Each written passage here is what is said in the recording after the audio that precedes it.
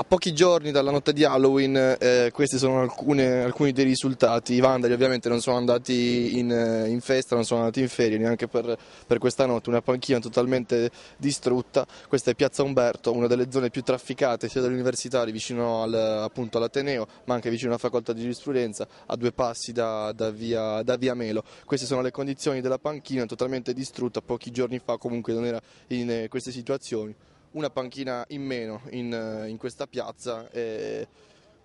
vandali che comunque continuano ad avere il loro corso in questa città.